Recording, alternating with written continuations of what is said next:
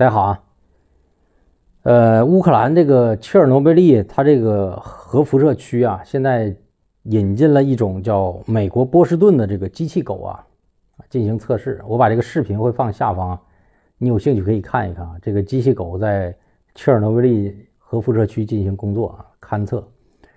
那它呢，主要是测试什么呢？测试呃整个切尔诺贝利啊。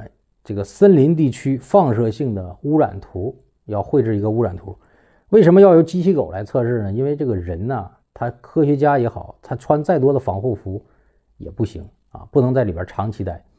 呃，可能没去过切尔诺贝利不知道啊，切尔诺贝利那个里边是可以进去的，但是你进去时间不能长，你必须进去一段时间马上出来，然后呢吃一些药啊，或者进行一些康复性活动。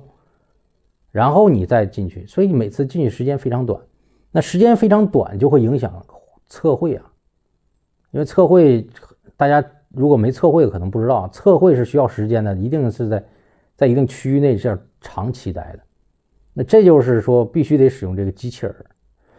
那这一次呢，我我看完这个视频，我觉得非常有趣啊，因为切尔诺贝利我是去过的啊，旅游都可以去过，就是时间短，你可以进去，人是可以进去的。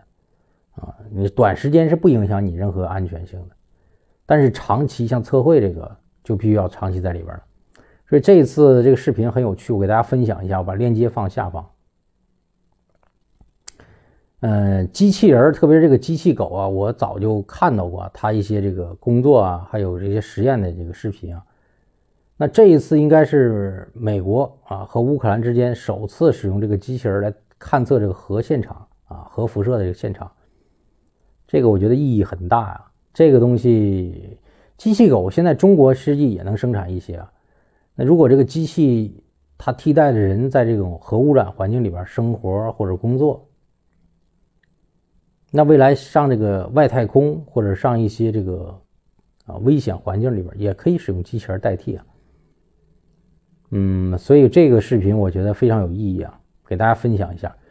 另外呢，就是说美国它现在使用的这个机器狗，咱们得想啊，现在可以在切尔诺贝利的核辐射区工作。那未来如果发生战争，在核爆区域，对不对？他不使用自己的这个真实的士兵，有冒着核辐射的危险，他使用机器人啊。机器人也可以参战，而且是不怕核辐射的。所以这个我觉得咱中国得想一想啊，这个东西。会不会美国用这个机器狗变成军事化、军事化用途？中国是不是也得有准备啊？有兴趣可以看一看这视频。